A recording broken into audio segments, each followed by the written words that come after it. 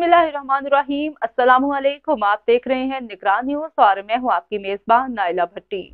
सबसे पहले शामिल करते हैं आज की अहम खबर। बिस्मिल्लाहिर्रहमानिर्रहीम। नाजरीन, आप देख रहे हैं निगरान न्यूज़। मैं हूँ अदनान मलिक।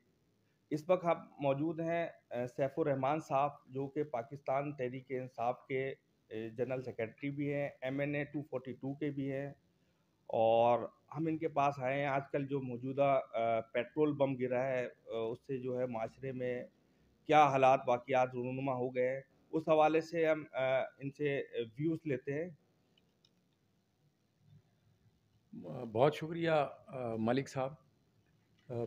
आपने बात तो पेट्रोल की की, लेकिन चूँकि पेट्रोल जो है वो बुनियादी ज़रूरत है हर इकॉनमी को चलने के लिए, हर मुल्क को चलने के लिए कि जब पहिया चलता है तो फिर पूरा मुल्क चलता है।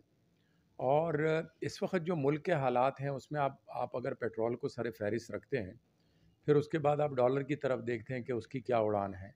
तो पूरे मुल्क में जो हालात इस वक्त दरपेश हो गए मैं ज़ाती तौर पे समझता हूँ कि जितना मैंने पढ़ा है, जितना मैंने सुना है और देखा है, जितना मैंने, आपने भी देखा है, अब तो सोशल मीडिया के ज़रिए हर चीज़ जो है हमारी अप्रोच में है तकरीबन। मैं समझता हूँ कि ना इकहत्तर में ऐसे हालात मुल्क पे आए, ना पैंसठ में ऐसे हालात मुल्क पे आए और ना मैं समझता हूँ कि ऐसे हालात कारगिल का जो मसला पैदा हुआ, ना फिर नाइन अलेवन के बाद जो मुल्क में बड़े पैमाने पे दहशत गर्दी जब मुल्क में आई, लेकिन उस वक़्त भी हमें ये मसाइल नहीं थे। और मैं इसको पिछले तमाम अदवार को ज़िम्मेदार इसलिए समझता हूँ कि आप अगर देखें तो ये सत्तर पचहत्तर साल हमारे मुल्क को वजूद में आए हुए। लेकिन जो इस मुल्क को हमने डिलीवर करना था, वो हम नहीं कर पाए। और उसमें मैं ज़ाती तौर पे समझता हूँ कि पॉलिटिशियन का बड़ा हाथ है। क्योंकि आवाम तो आम लोग होते हैं, वो तो अपनी मेहनत करते हैं।